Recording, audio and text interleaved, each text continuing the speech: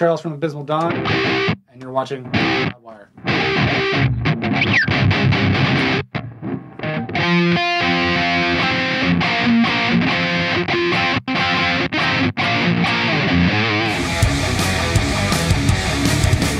like as a kid, the first song I heard that made me want to play guitar, it's not brutal at all, uh, was Johnny B. Goode. I think I watched that movie Back to the Future with my dad or something as a kid. And uh, I, I think it's a Chuck Berry song, but I don't know if that's a Chuck Berry rendition in the actual movie. But I just remember playing guitar in that and thinking it was really cool. That's probably what inspired me initially to want to play guitar until I, I don't know, maybe I heard like Pearl Jam or something like that, um, and Metallica for sure. So the first riff I learned on guitar, Metallica, Enter Sandman, and then I don't remember it was Come As You Are by Nirvana, and uh, maybe just Smells Like Teen Spirit. You know, all the shit that they hate you playing at Guitar Center. Smoke in the water or something, piss everyone off at Guitar Center. I don't know. Yeah, I, I think I basically learned, you know, the basis of heavy metal guitar playing from Metallica, and I had like a, a book of basically a compilation of like all their, you know, best riffs, so to speak, and uh, I learned a lot from those. So yeah, it's like fucking fucking Creeping Death, and that was one of my favorite songs. I think growing up as a kid. Death and Sepultura, like Beneath the Remains stuff like.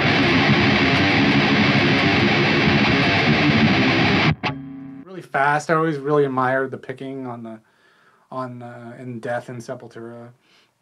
Um, like Megadeth stuff too, like stuff off like Rust in Peace. So when I first started, uh, I did have a guitar teacher. His name was Greg Montanti or Montanti. I, I've probably pronouncing it wrong. It's been so many years. Um, he was like a session musician and big like fusion guy. I think he did like guitar on like Baywatch and stuff like that. Did a lot of TV um, stuff, and he he wasn't a metal guy, um, but he did have a joke metal band. It was called Scrap Metal. Um, that they did for fun in like the early 90s or something like that. Um, completely anon- anonymously, I think, at the time.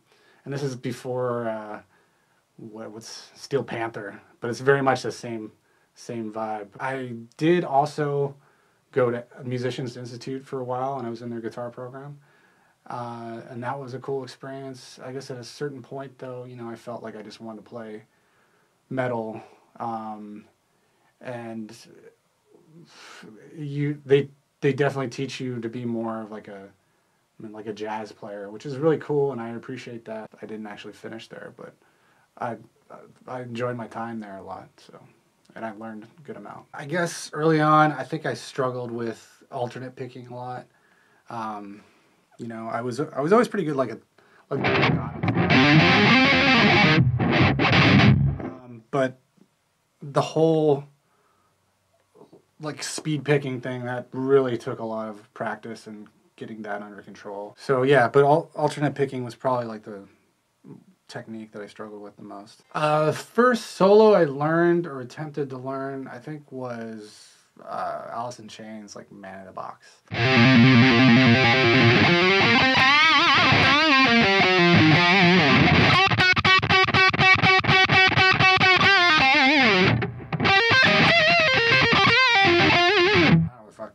I just remember this part.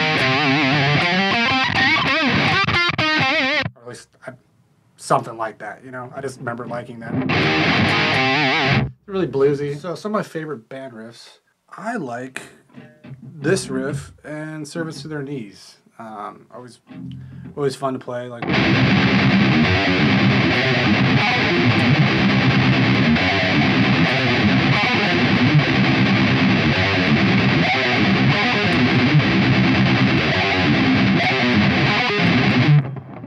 Fun. It's dizzying kind of riff. The first riff I ever wrote for the band, I mean, there was a couple of songs. Um, the first song I think we wrote, all to, like all together as a band, was uh, a song called "Solitude's Demise," if I remember right. That f- the first riff, I if I can play it fucking correctly, it's been forever, man. I haven't played these songs in forever. Um, was this?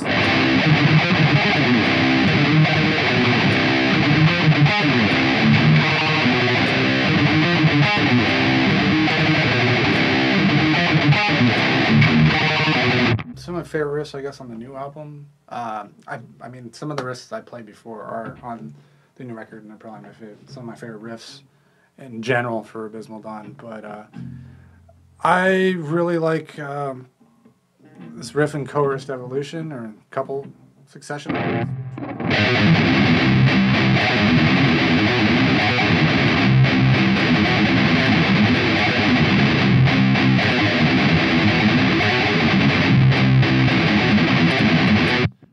There's this one too.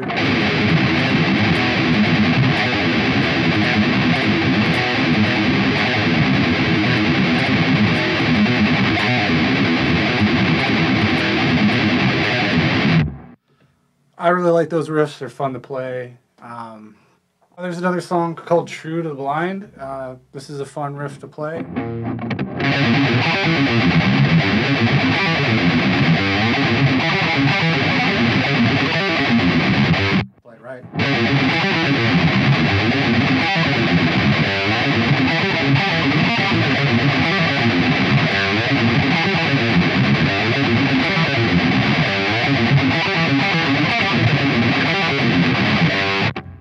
That's fun.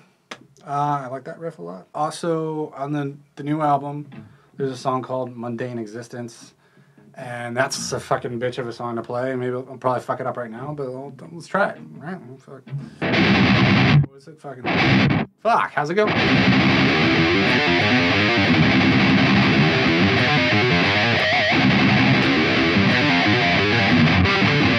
Ah, see, I fucked it up.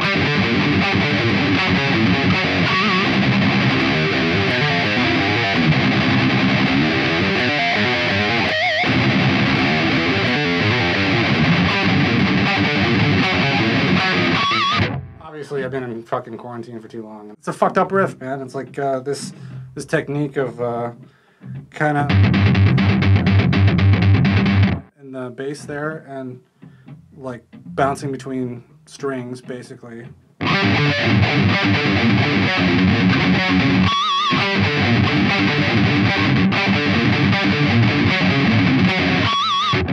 Um, it's it's an idea like I pretty much like borrowed from Buckethead.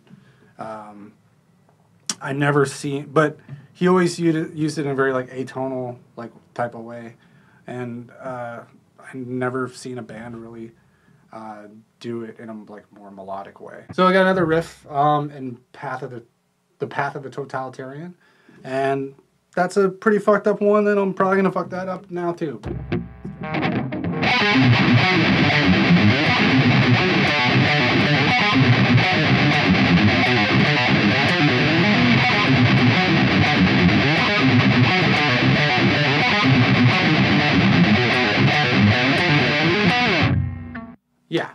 There's, so there's that. That's fun. Um, when we get to play that live, um, I'll be excited and worried at the same time. So.